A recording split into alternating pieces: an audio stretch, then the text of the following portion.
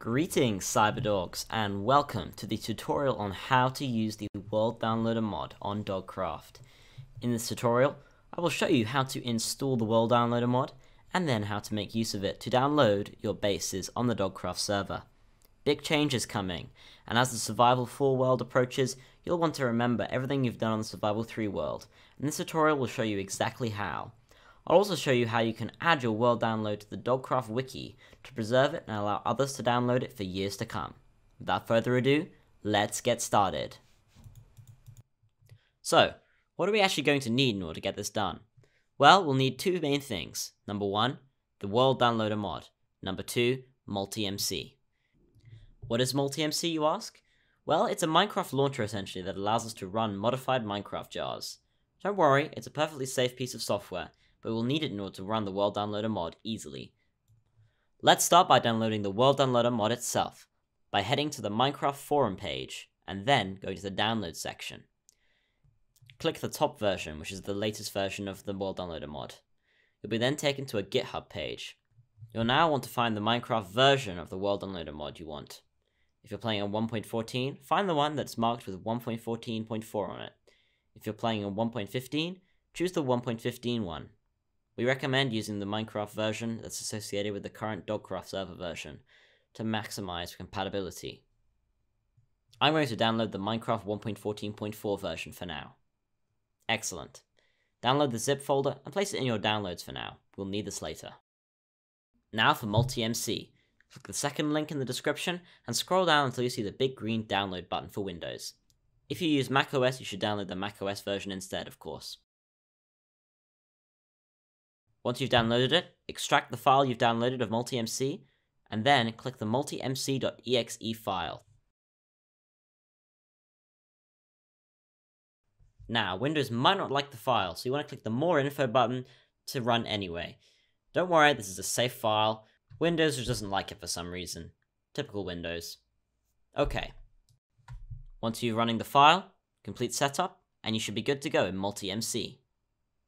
Next, you want to click the New Instance button in the top left. It looks like a white page. Next, you want to rename the name of your new instance to whatever version followed by underscore WDL.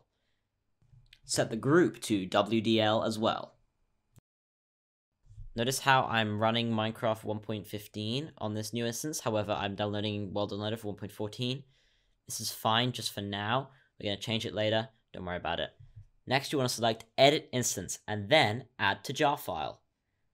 This will open up your file directory, and then you want to go to navigate to where you saved your world downloader mod.zip file, and then click on that. Then click OK. Now you can click Launch, but you'll be prompted to enter your email and password if you haven't already for your Minecraft account. So just quickly sign into your Minecraft account,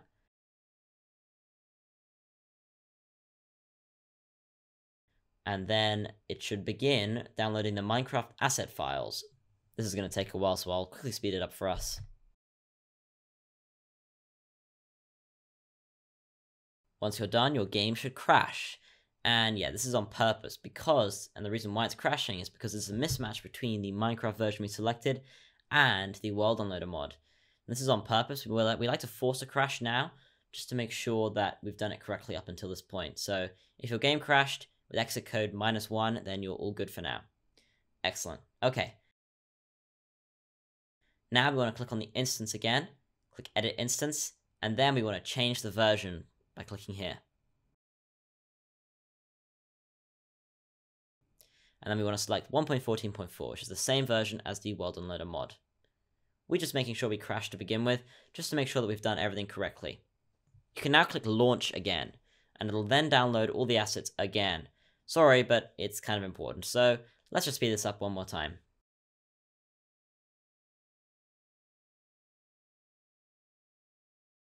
Okay, that just about did it. Excellent. Now, the game should boot. And it'll boot right to the title screen of Minecraft. Now we can go into multiplayer and enter the Dogcraft IP address again. It might ask you about Windows Defender again, just click OK and allow on public and private networks to make sure everything will work, and then log into Dogcraft.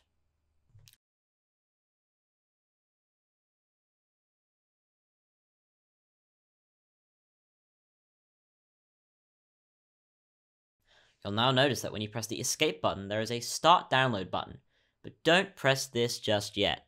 We want to click the three dots next to it. You'll now be prompted about a multi-world support option. You want to deny this, so just keep it on disabled and click the done button. We don't need multi-world support. That's for servers that use multiple worlds on one server rather than separate servers for each world. Dogcraft used to use this, but we no longer use it, so just ignore it for now. You'll then be taken to the options menu for the World Downloader mod. This menu contains all sorts of useful options about how the game will save your world. You should have a look around, see if you'd like to change anything, but we want to head to World Generator Overrides. This will allow us to input the Dogcraft Survival 3 seed. In essence, what this will do is it will mean that areas where you do not download the world will be replaced with the naturally generated Survival 3 world, that is, the world before any other players came to it. To find out the Survival 3 seed, type slash seed in game and click on the thing in chat. It's also in the description below if you just like to paste it in, but you want to put the seed in this box here. This now means that when you're downloading the world, any areas that are not downloaded by you will be replaced with the default world of Survival 3. This will help keep things natural and avoid clunky chunk poles and big void areas. It's very nice. Once you're done with the settings, you can then back out and then click Start Downloading.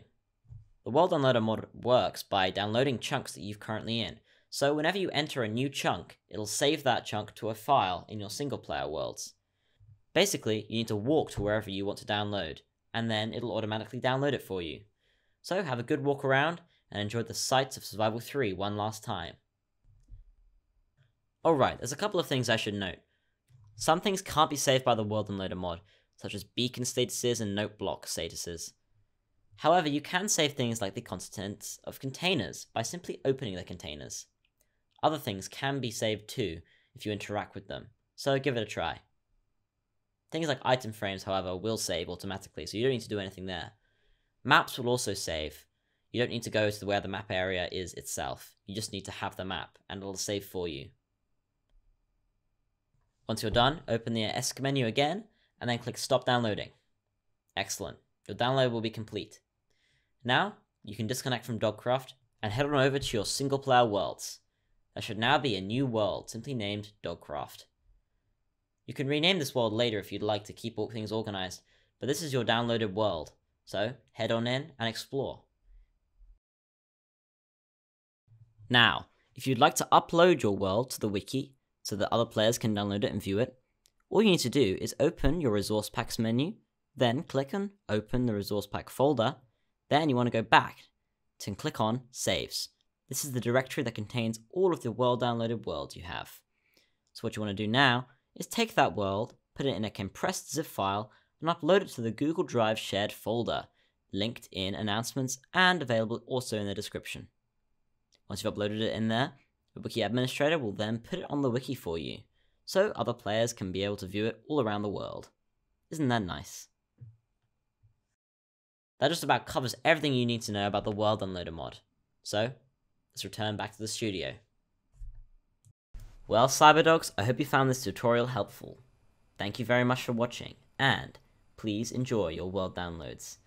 Ladies and gentlemen, until next time, this is William signing off.